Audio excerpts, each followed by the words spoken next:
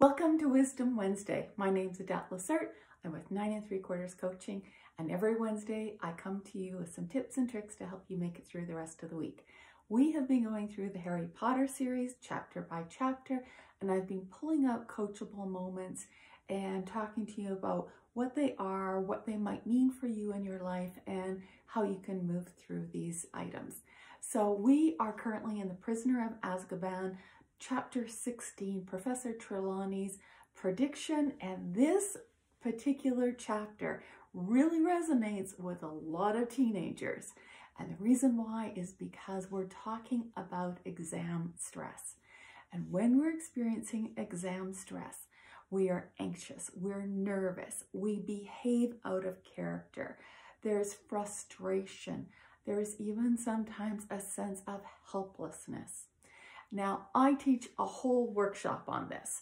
I call it Slaying the Boggart, and we address the stress that's there. We address the fears that might be coming up. And what I do is I walk you through three particular items that are really important.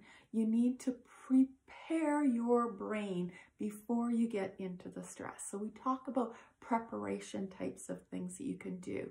The next, there are a whole bunch of tools to help you manage stress as it's starting to build, as it's starting to simmer into your system and things aren't feeling quite comfortable or right.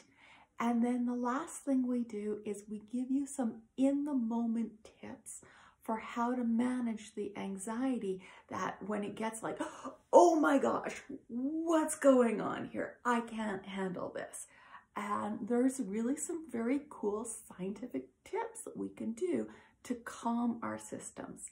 When we're under stress, our sympathetic nervous system kicks in and it kicks in really quick.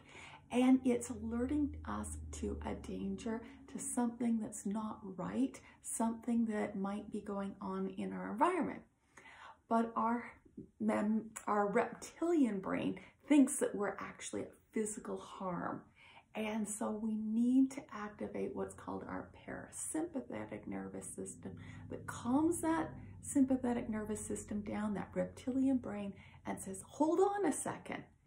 You're not at physical harm. You're not going to die. Yeah, it's uncomfortable, but this is exam stress. This is stress from something that's in our environment that's not going to kill us. And so we need to learn these skills, how to walk through them. So I invite you to join me for Slaying the Boggart. Take care. Have a great week.